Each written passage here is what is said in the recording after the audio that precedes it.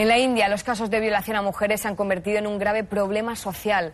Una madre se ha suicidado prendiéndose fuego. Su violador había sido condenado a pedirle perdón únicamente acariciándole los pies. Otro tribunal ha condenado a 24 hombres por violar 60 veces a una joven. En el país asiático se produce una agresión sexual a una mujer cada 20 minutos.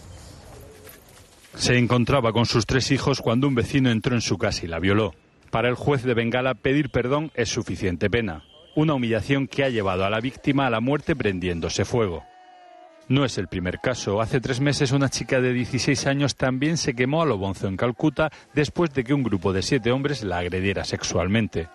Quitarse la vida se ha convertido en la única forma de protesta ante la impunidad de las violaciones en la India.